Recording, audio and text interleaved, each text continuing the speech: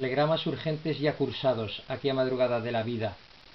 Aseguran que la gran esfinge, eh, cuyo secreto radica en carecer de un corazón, nunca capaz de amar o tal vez de un viento oscuro con que cubrir sus ojos, cansados de mirar los otros besos sin que un pájaro golpee la arena derribada. Tus labios, tus labios ociosos, tus labios que casi ya no son tus labios, de tan míos. Descansar una vez, mover la mano, apuntada hacia un río que no existe, pero murmura y se aleja cada día, más, un poco más, sin que nadie haya podido detenerlo nunca. Verano, quiero decir muchedumbre, vestidos vaporosos color malva.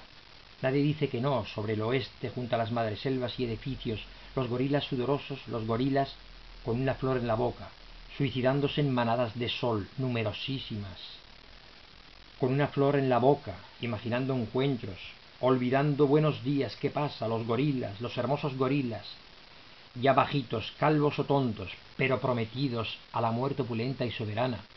Príncipes orientales se suicidan a sabiendas, constantemente dueños de su calor, soñando las sangrientas colas de los autobuses, anhelantes de más noches de sábado, apretándose contra tantas taquillas que prometen felicidad, un poco o lo que sea, cada uno se apaña como puede.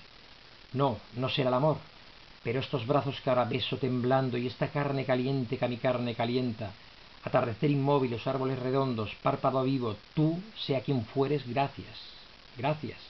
Oh vida, oh vida viva, donde quiera que vaya, si desnudo o lejano, ha de venir conmigo este breve ardoroso corazón, conmigo hasta acabar, valiente compañero.